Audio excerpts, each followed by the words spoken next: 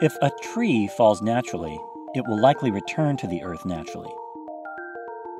The decomposing wood of a fallen tree serves as a slow drip savings account of organic material, providing nutrients such as nitrogen, phosphorus, and potassium over many years, if not decades, for the forest soil. If a tree comes down before it brings itself down, there's generally still a distinct trace of its continued psychology the stump, requiring a loud and intrusive grinding machine to remove after a previous and different loud and intrusive cutting machine had caused the original damage.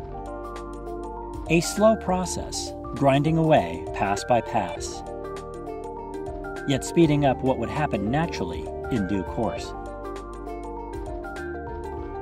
Trading time savings for a reduction of that natural long term savings account.